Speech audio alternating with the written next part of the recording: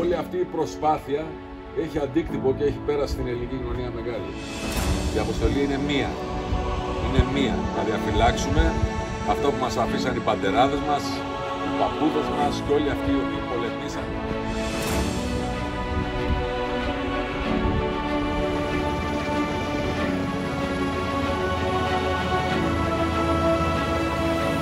Ένα μεγάλο ευχαριστώ γιατί χάρη στις δικές σας προσπάθειες έχουμε αυτό το μεγάλο οικοδόμημα που λέγονται ελληνικές ενόπλες Θα πρέπει να είστε περήφανοι όλοι για την ποιότητα και την ισχύ των ελληνικών ενόπλων δυνάμεων. Όποιος θέλει επί του πεδίου.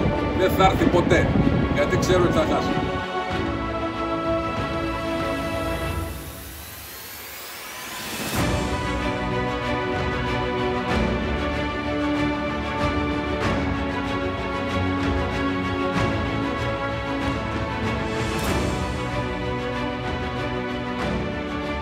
Και θα είμαστε εδώ για πάντα προασπιζόμενοι το εθνικό συμφέρον, την εθνική ανεξαρτησία, την εδαφική ακεραιότητα και την ελευθερία των Ελλήνων.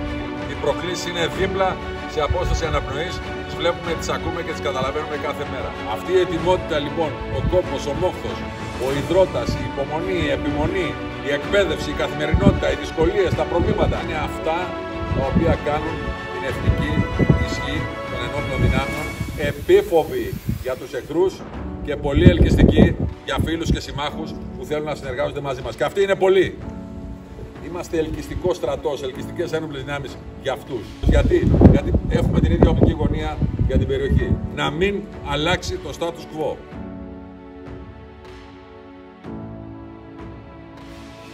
Βρίσκομαι σήμερα εδώ στη Στρογγύλη, στο ανατολικότερο σημείο της ελληνικής γης, στο ανατολικότερο οροθέσιο της πατρίδας μας, με την ευκαιρία των εγγενείων του ολοκέντρου του φυλακίου.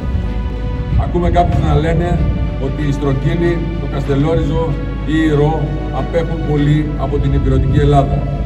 Σε εκείνους που τα λένε αυτά, απαντάμε ότι η Στρογγύλη, όπως και ολόκληρο το σύμπλεγμα της Μεγίστης, είναι η ίδια η Ελλάδα.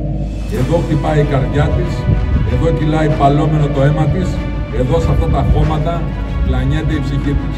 Είναι πολλοί εκείνοι που θα ήθελαν να μην υπήρχε αυτό το νησί πάνω στο χάρτη.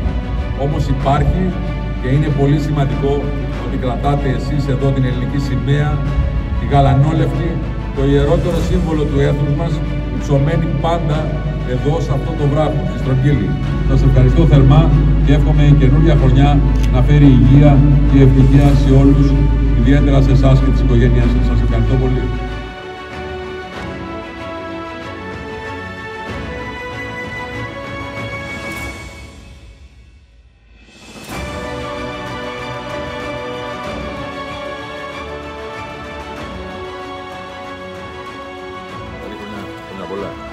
Καλή χρονιά. Είστε προνομιούχοι να υπηρετείτε την πατρίδα σας, διότι δεν έχουν όλοι οι άνθρωποι σε αυτόν τον πλανήτη πάνω πατρίδα. Και κανείς σίγουρα δεν έχει πατρίδα σαν την Ελλάδα. Ένα μεγάλο ευχαριστώ για τις υπηρεσίες που προσφέρετε στην πατρίδα και στο έθνος με την παρουσίαση εδώ σε τέτοια μέρη ειδικά όπως είναι το Καστελόριζο.